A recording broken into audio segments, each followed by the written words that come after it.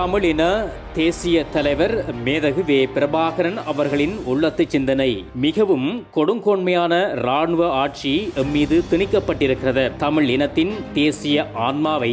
ஆயுத பலாத்காரத்தின் மூலம் அடிமை கொள்வதே எதிரியின் திட்டம் இது தமிழின தேசிய தலைவர் மேதகு வே பிரபாகரன் அவர்களின் உள்ளத்து சிந்தனை